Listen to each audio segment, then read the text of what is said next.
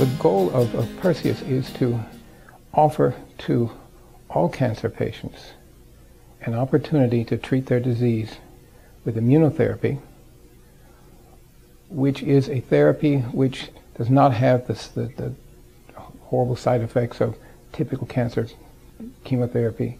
Um, and to, and to do this at the stage of a disease where it may, might be highly effective. Personalized medicine means two things. Um, it, it not only means that, that we're using the patient's own tissues and own cells.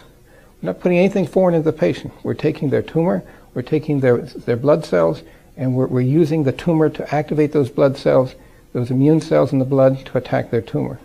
Everything is, is, is.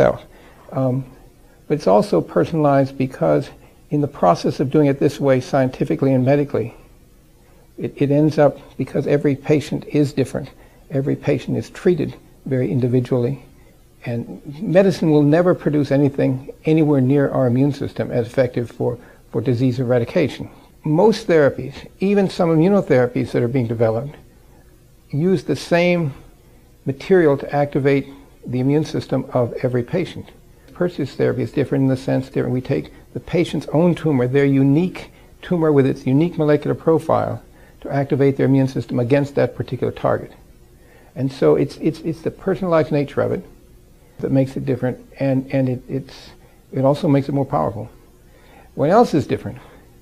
And the, the, the, biggest difference, I guess, in, in, in the eyes of, of the patient is there are virtually no side effects from this.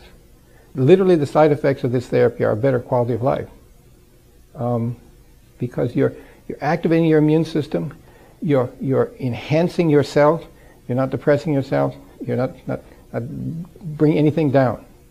And the patients we've treated so far have been late stage four cancer patients with metastatic disease.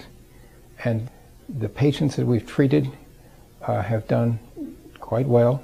So I'm, I'm very optimistic uh, that we'll do the same with, with late stage four patients. But if we start to be able to treat stage two to three patients, where what, what that means, stage two or stage three, is, is a localized tumor that has not yet spread, or it's spread just to the local lymph node, not spreading anywhere else in the body. These patients, if we can surgically resect the tumor and get tissue from that to make our therapy, these patients stand an outstanding chance of doing very, very well.